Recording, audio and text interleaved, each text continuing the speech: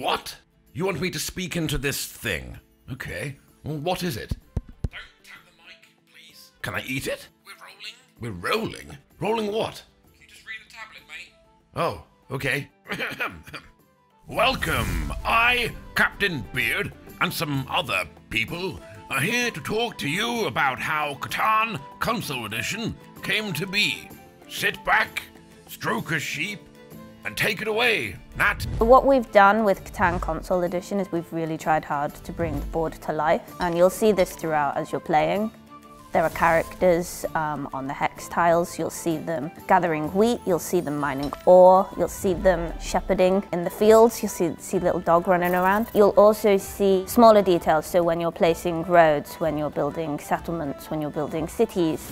If you choose to play with a random setup, uh, you'll get a different experience of the board every time you do this. It looks very beautiful and it gives you the opportunity to try out some of the different camera angles that are available. So you can choose to zoom in really close if you'd like and have a look at some of these characters that are working on the hexes or you can choose to play with the top-down mode if that's something you prefer. You will also notice that there are challenges available. With these challenges you'll be able to unlock rewards. These rewards include uh, dice skins so that you can personalize um, the dice you play with, as well as character frames that you can use to show off a little bit in multiplayer and uh, show how many games you've won.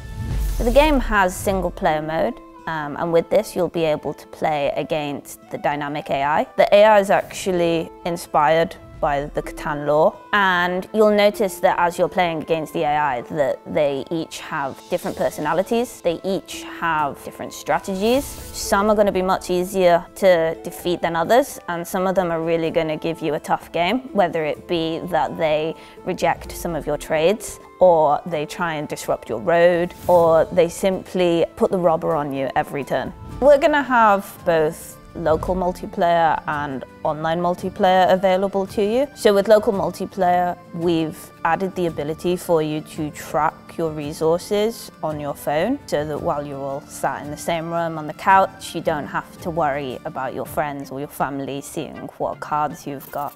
So with online multiplayer, you'll be able to set up a game with other people online and you'll be able to use those skills that you've gained playing against our AI and put them to the test.